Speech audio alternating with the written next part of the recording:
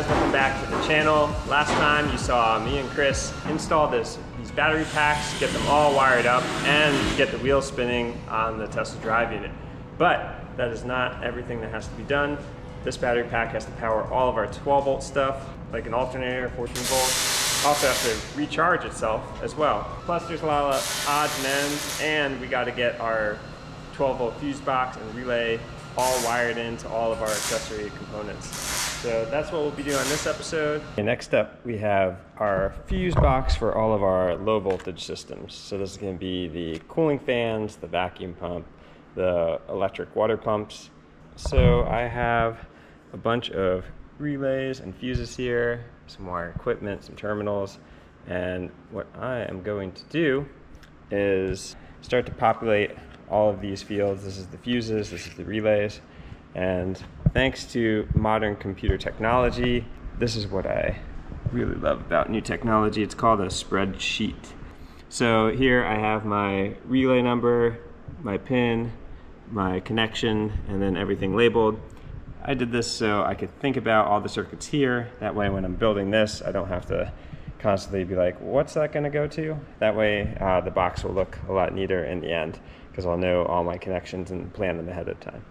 Um, so I'm going to start with the easy stuff. I'm going to do all the grounds. Most of these relays are going to have a positive triggered, so all the grounds will go to one ground stud, except for two, I think, that are going to be ground triggered, and those will get powered by a constant power. So I'm going to build all my grounds that have a constant ground to the ground stud. That way we can bring up one fat ground wire from the bottom. That'll be tied into the rest of the car grounds, and that'll feed all of our relays. So that's where we'll start, and then we'll just go down the list from there and start populating anything that could be wired in before we put this into the car.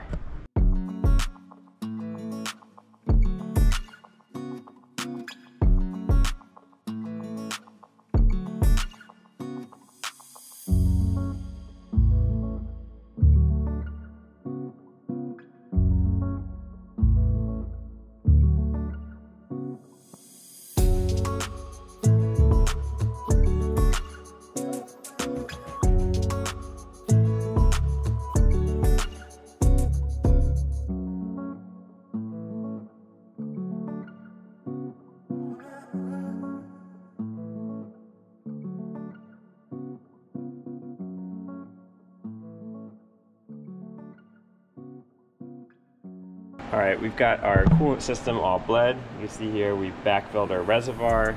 We filled up through our fill tube up here, the highest point in the system, and we ran the electric pump while filling, saw the bubbles gurgle out, and we checked for leaks. So we are all good on that.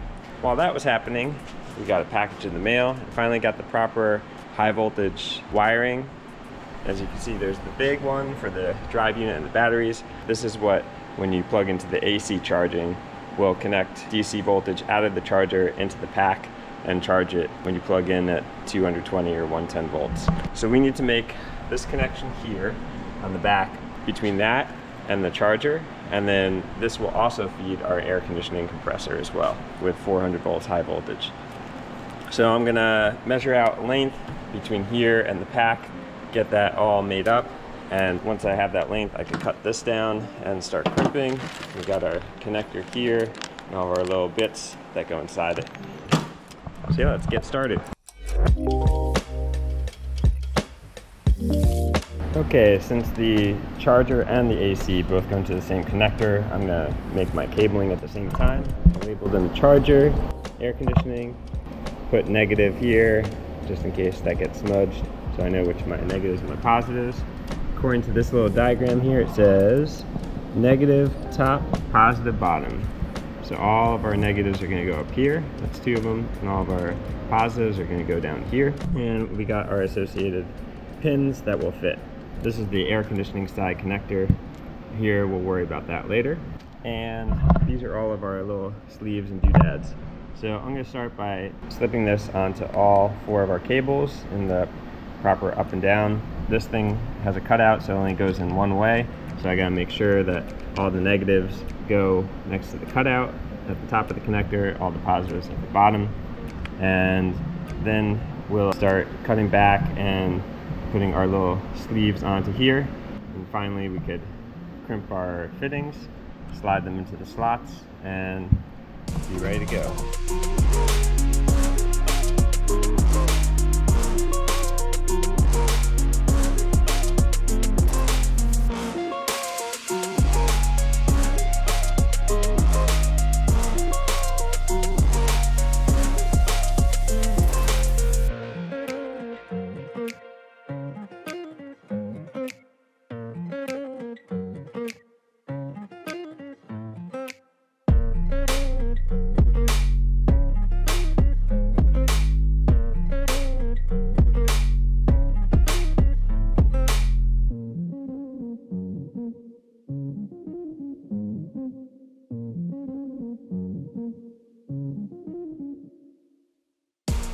Okay, we've got our HV connections between our charger and the battery, and then from the battery to the air conditioning. Now that that's done, we had already primed our battery coolant, but next we got prime our Tesla Slide coolant. So I got here our, says it on there, Tesla blue stuff. So we're gonna do the same process. I got my bleeder hose up here. We'll take this cap off all the way that way air can escape. We'll put our funnel in there, fill it up, and then run our pump and the whole system will push up air out of, out of this, this way. So once we get this full, just like this one, we'll be able to uh, close our ball valve that leads to that and everything will be ready to go.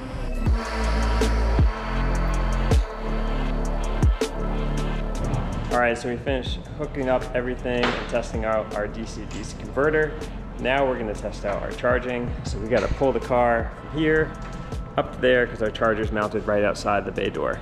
So let's uh, fire this up, get it in position.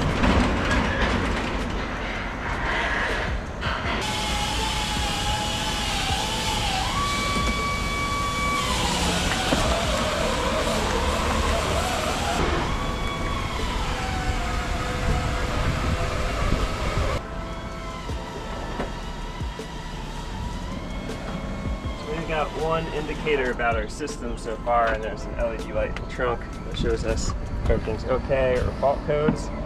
So we'll have to rely on that for now. It's J1772 plug. See our port here. And our little LED shows green. And our charger over here is blinking which means on. And I actually have the app for the Autel, so we might be able to see some information, I'm not sure. Okay, there we go. It looks like charging is happening. 0.0531 kilowatts of energy has entered in the past 43 seconds. So I think it's going. All right, so now that we know that this is charging, we're gonna roll to a fast charger, plug in. Down here, our empty ports are for our DC fast charging and we're gonna see if we could charge super fast.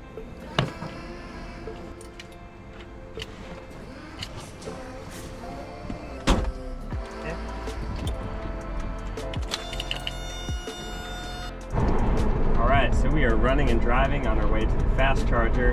Uh, as you can see here, I don't have any instrument controls yet. I'm still building up my, uh, my new gauge control in the cluster. Uh, I know that everything works from the previous uh, iteration of this system. So I know a lot of people have been commenting about like, oh, why are you swapping batteries? That EV batteries go bad so fast. Why do you need new ones? Well, my EV batteries, the old ones are just fine. Chevy Volt batteries, but they aren't very energy dense. So I really wanted to build this car so I could travel more than 80 miles at a time. Also, you know, I got those packs out of a salvage vehicle along with a bunch of the other components. And that was, you know, a first build as cheap as possible. Just wanted the proof of concept and within the budget that I had at the time. So this new battery pack isn't because of any sort of battery failure. So yeah, really it was more about my range. You know, every time you build something you want more the next step, right? Even if it's a gas motor, you want more horsepower, bolt on, etc. So this is just the, the next iteration.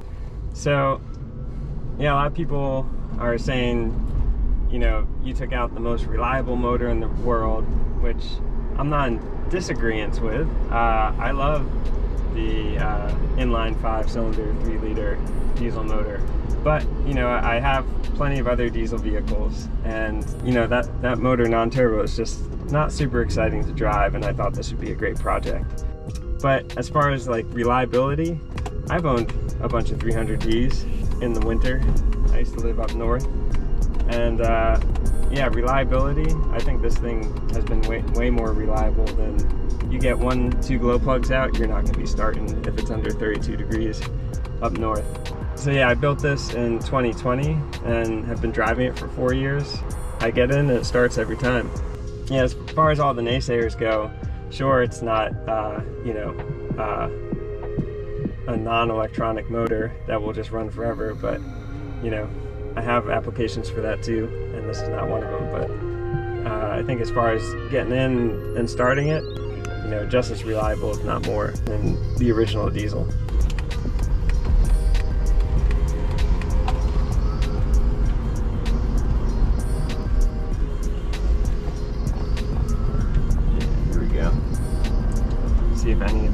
Open.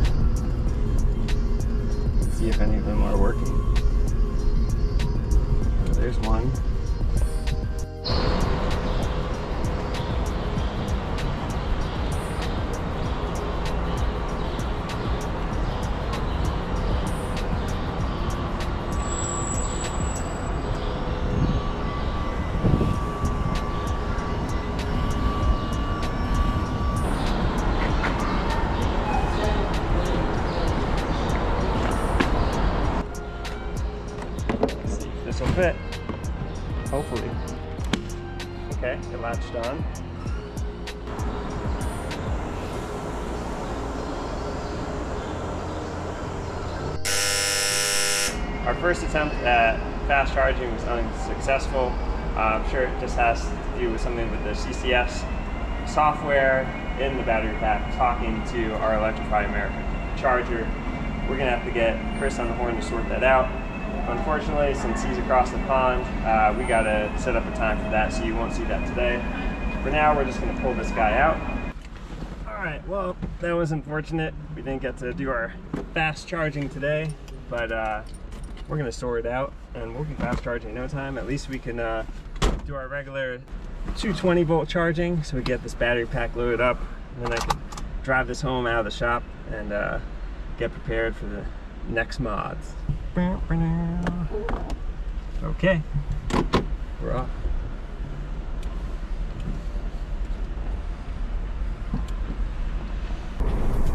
Right, so our next steps, we're gonna be getting the CCS charging working.